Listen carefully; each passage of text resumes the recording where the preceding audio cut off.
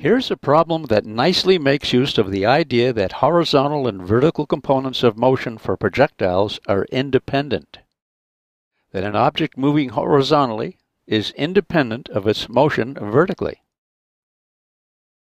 A horizontally moving tennis ball barely clears the net, a distance y above the surface of the court. To land within the court, it must not be moving too fast. Part A. Ignoring air drag, find the maximum speed the ball can have as it clears the net to land within the court's border a distance d from the bottom of the net. To solve this problem, like most all problems, we focus on what is asked for. We're asked for speed, so we begin our solution by writing v equals just this much is a lot, for it puts us on the road to a solution.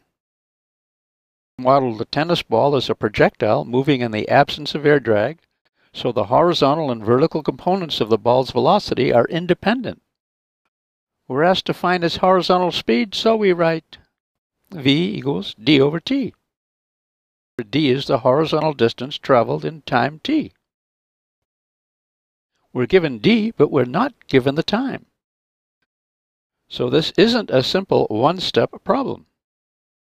Importantly, the equation directs us to consider time, which we might not have considered otherwise. Now some important physics. The time t it takes for the ball to hit the court will be the same time as if we had dropped it from the top of the net from rest, a vertical distance y.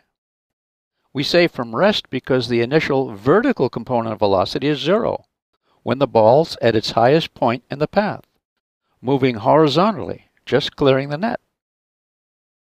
Our equation for vertical distance fallen from rest, y equals 1 half gt squared.